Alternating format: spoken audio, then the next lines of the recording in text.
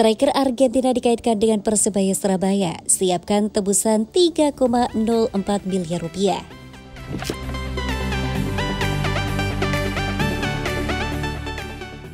Persebaya Surabaya kembali dikaitkan dengan striker asing asal Argentina dalam bursa transfer pemain Liga 1. Kali ini Persebaya dikaitkan dengan striker yang memiliki tinggi badan 1,78 meter yang berumur 33 tahun. Striker yang dikaitkan dengan Persebaya ini adalah Ramiro Fargonzi yang saat ini masih membela Persita Tangerang di musim 2022-2023. Di skuad Persita, pemain ini dikenal selain sebagai penyerang juga kerap turun membantu pertahanan. Tercatat dia sudah bermain 27 kali untuk Persita dan sudah mencetak 7 gol dan 7 assist.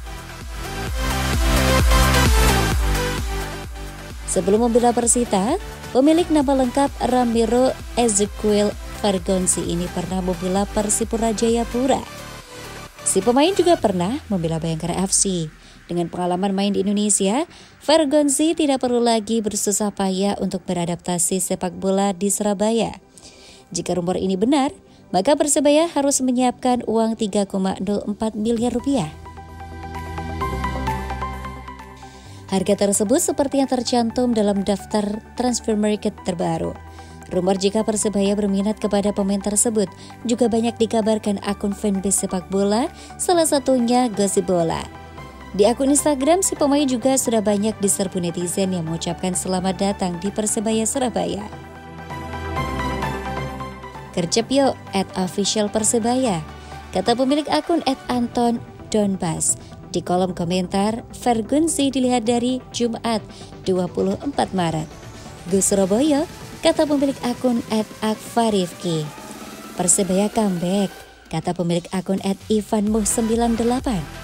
Serta masih banyak lagi netizen yang memberikan komentar dengan emot ikon buaya hijau yang merupakan salah satu lambang Persebaya selain ikon Suro.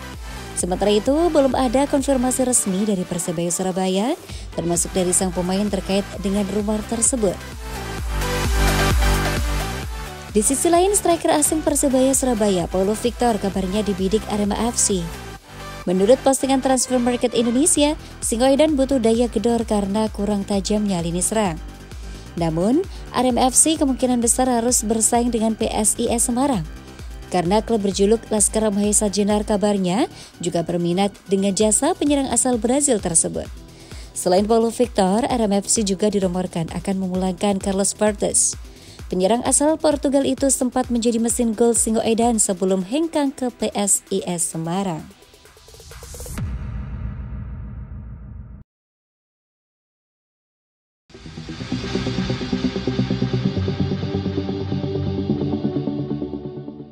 Tak pernah dimainkan, klub Eropa mulai jual jersey ex Persebaya. Marcelino hanya dijadikan marketing saja.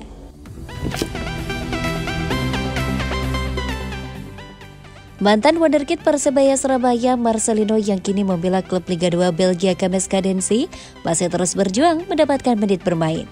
Marcelino yang selalu menjadi pilihan utama kala membela Persebaya Surabaya harus kesulitan untuk masuk mendapatkan menit bermain dalam laga resmi Kames Kadensi. Praktis sejak bergabung, Marcelino hanya menghangatkan bangku cadangan klub tersebut. Ex wonderkid Persebaya ini hanya pernah sekali dimainkan. Selebihnya, pemain yang berlabel skuad timnas Indonesia ini jarang masuk dalam skuad utama klub Eropa tersebut. Kini meski tidak pernah dimainkan, mendadak akun Instagram klub tersebut mengunggah foto Marcelino Ferdinand dalam menyantumkan jersey yang bakal dijual. Warganet yang melihat itu banyak yang menuliskan protes dan menyebut klub ini hanya menjadikan Marcelino sebagai bahan promosi atau marketing saja. Banyak warganet yang menyebut jika selama ini klub-klub Eropa hanya menjadikan pemain Indonesia sebagai bahan jualan untuk meningkatkan followers. Pemain Indo rata-rata buat trik marketing doang di luar sana, kata ex dinrus.id hanya jadi bahan marketing ya, kata pemilik akun Ed Ahmad Farizal Aska. Mari kita tunggu dan amati saja ke depannya. Apakah Marcelino akan mengikuti jejak Arhan yang hanya jadi penghangat kursi cadangan tapi ketenarannya dimanfaatkan dengan baik oleh klubnya? Atau justru Marcelino dijadikan pemain utama yang tampil tiap pertandingan? Kita tunggu saja, kata Ed Mutia Amanda. Pelatih Persebaya Surabaya, Aji Santoso optimis timnya dapat bangkit dan keluar dari situasi sulit di sisa laga kompetisi Liga 1 Indonesia musim ini. Dikutip dari laman Liga Indonesia, Kamis, menjelaskan salah satu kunci bangkit dari Persebaya Surabaya adalah memenangkan laga Pekan Tunda ke-18 menghadapi Persikabo 1973 Sabtu 25 Maret mendatang. Persebaya Surabaya tentu berambisi untuk mengakhiri periode buruk setelah pada enam pertandingan terakhir Sohya Momoto dan kolega gagal menorehkan kemenangan. Tercatat bajul ijo takluk dari Bali United, PSM Makassar, Barito Putra dan Persik Kediri, serta bermain imbang kontra Rans Nusantara FC dan Persib Bandung. Salah satu cara untuk kita segera keluar dari situasi ini adalah tidak ada pilihan lain selain menang, kata Aji menambahkan. Tanggal 25 kita main di kandang. Jadi itu kesempatan anak-anak yang bagus untuk menunjukkan penampilan mereka yang maksimal. Sambungnya.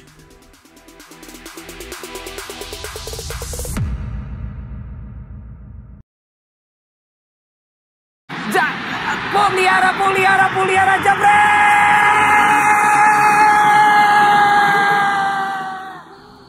Papi pulang, Robertino Pulkiara kode balik ke Persebaya Surabaya, damping Aji Santoso di jajaran kepelatihan.